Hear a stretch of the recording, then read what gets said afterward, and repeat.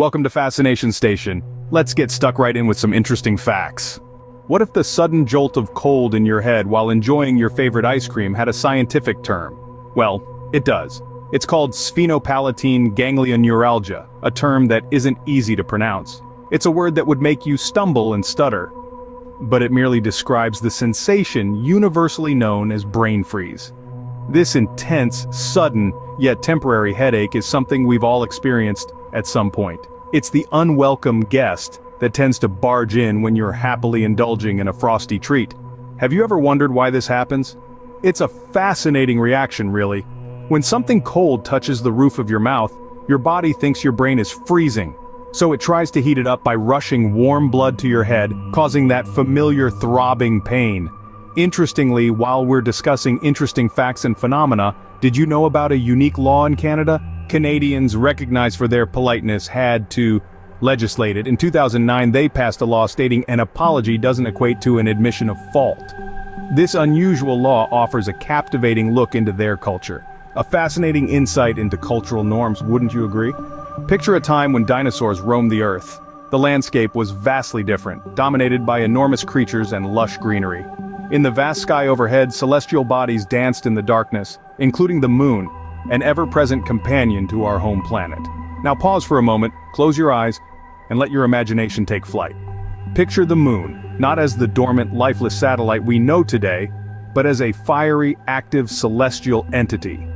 Imagine peering through the lens of time and seeing a volcano erupting, not here on Earth, but on the moon. The moon, back during the era of the dinosaurs was a dynamic and tumultuous place, with molten lava bursting forth from volcanoes, painting a breathtaking picture in the night sky. Amid the silent serenity of the night, these lunar volcanoes were a reality, providing a stunning celestial display that we can only dream of witnessing today.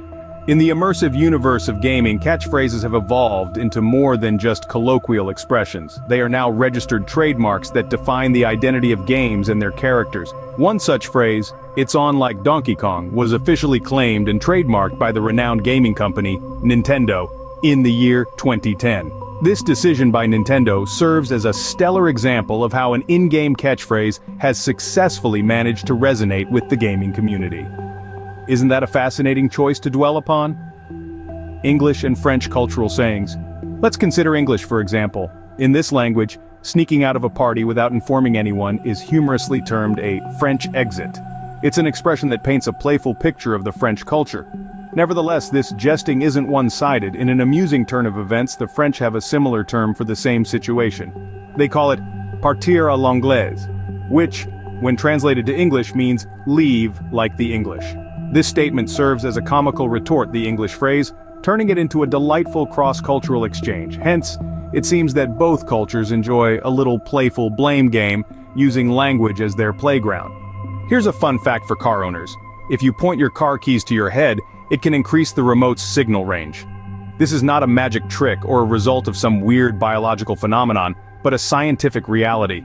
The explanation is simple. Your brain acts as a sort of amplifier, enhancing the signal's range. This trick might come handy when you can't find your car in a crowded parking lot, or when your remote seems weaker than usual. Of course, it might look a bit strange to others, but hey, if it works, why not? Now let's talk about another interesting thing. Have you ever experienced those flashes of colored light you see when you rub your eyes? Those sparkling spectacles are called phosphenes. This term comes from the Greek words phos, meaning light, and phanein, meaning to show. These lights can appear as blobs, streaks, or geometric patterns, and can be different colors. Despite the common belief, phosphenes are not just products of our imagination, they are caused by the mechanical stimulation of the retina. And here's another intriguing fact. Did you know that the tongue is the only muscle in the human body that is attached from one end? This might seem like a strange design, but it's all about functionality. The tongue needs to be extremely flexible to help us in speaking, eating, and tasting. The uniqueness of this organ lies in its single-end attachment, a feature which sets it apart from all other muscles. It truly is a unique feature for one of our most vital organs.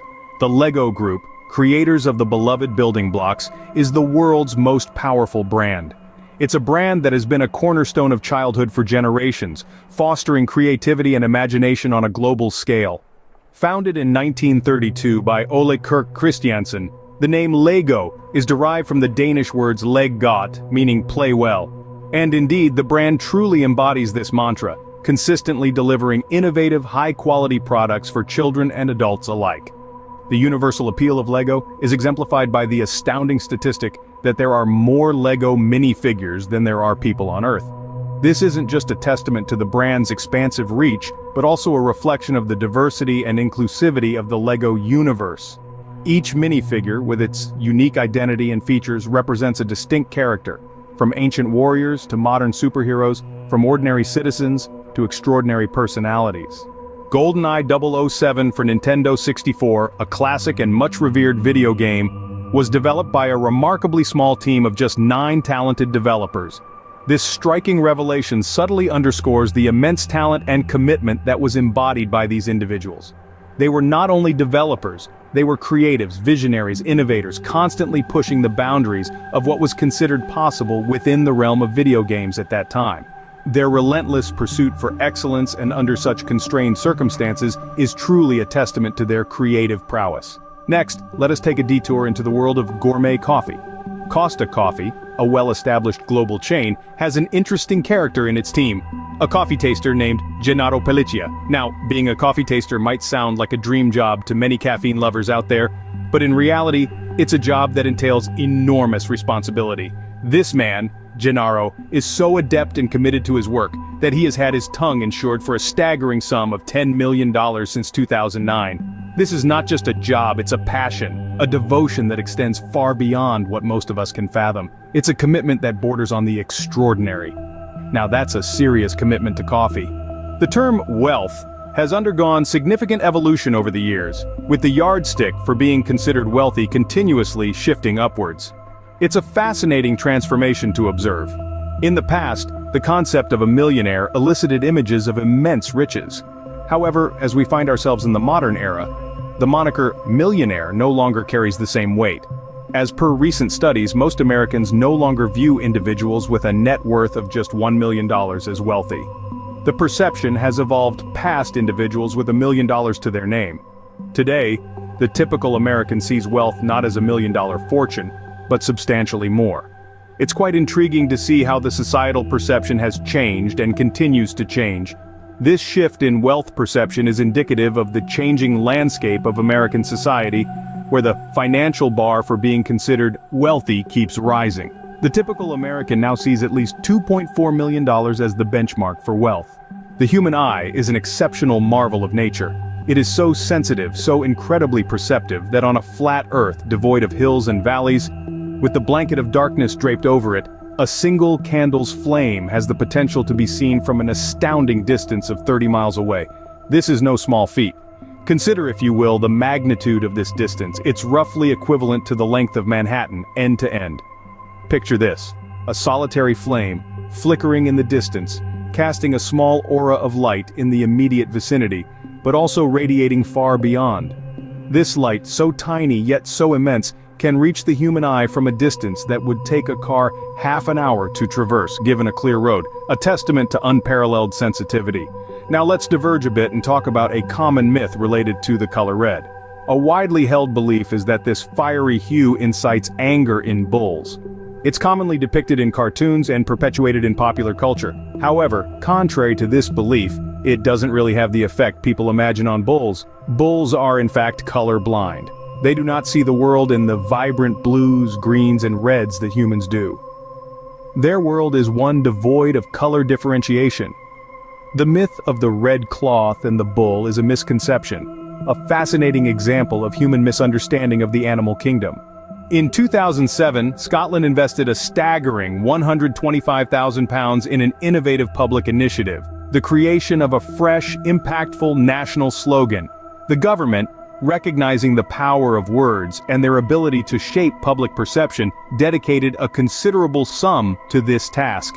A nationwide competition was launched, inviting every citizen to craft a compelling phrase that encapsulated the spirit of Scotland. This wasn't just an exercise in creativity, it was a testament to Scottish pride and identity. Thousands of entries flooded in, with hopeful contributors envisioning their words becoming synonymous with their beloved homeland. Slogan was meticulously analyzed and evaluated on its representation of Scotland's heritage, culture, and character. After exhaustive deliberation, a winning entry emerged, Welcome to Scotland. This simple yet resonant phrase became the nation's new calling card, greeting locals and visitors alike. Was the investment justified, one might wonder? Money well spent? In an interesting twist of linguistic trivia, there exists a punctuation mark used to signify irony or sarcasm that looks like a backward question mark. The saying, opposites attract, is quite often quoted, but upon closer inspection it's actually a myth. This captivating concept, that people with dramatically different personality traits are irresistibly drawn to each other, has gained traction due to its romantic appeal. However, the reality of human nature and attraction is far more nuanced. Studies have consistently shown that people are predominantly attracted to those who bear a resemblance to family members or those who have a similar personality type. This can be explained by various psychological theories, including the familiarity principle, which posits that we are more likely to form connections with people who are familiar to us, often because they mirror our own personalities or physical attributes. Now let's delve into the world of animation, stop-motion animation. One might think that the wildly popular, Tim Burton's gothic masterpiece, The Nightmare Before Christmas is the highest-grossing film in this genre. But surprisingly, it's not. Instead, that title goes to a less macabre but equally creative film, Chicken Run. This underdog tale of plucky chickens planning a great escape from a cruel farmer was a massive hit, proving that sometimes you don't need to be dark and spooky to win hearts and break records. Indeed, Chicken Run is the highest-grossing stop-motion animated film, even beating The Nightmare Before Christmas. Finally there is a statue of Tesla in Silicon Valley that radiates free Wi-Fi. This mesmerizing creation is a testament to the genius of Nikola Tesla, a scientist whose revolutionary insights laid the groundwork for modern wireless communication. The statue is not just a static monument, but an active tribute. It broadcasts wireless internet, a fitting homage to Tesla's vision of a where information could travel freely through the air. This fascinating tribute was realized through the combined efforts of passionate individuals who appreciated the significance of Tesla's work. The contributions came from diverse backgrounds, engineers who admired his revolutionary ideas, historians who recognized his contributions to modern science, and ordinary people who believed in the transformative power of technology. Together, they erected a statue that serves not just as a reminder of Tesla's past achievements, but also his future vision. The usage of the statue does not stop at symbolism, it literally radiates Wi-Fi, making the digital world accessible to anyone within its vicinity. Beyond its practical function, the statue stands as a beacon of inspiration. It reminds us of the potential of human ingenuity and the power of a single vision to change the world. It serves as a bridge between the past and the future, a tangible link between the pioneering work of Tesla and the wireless world we live in today. In summary, the world is full of surprising and fascinating facts. From brain freezes and moon volcanoes to polite Canadians and star sailors, there's always something new to learn.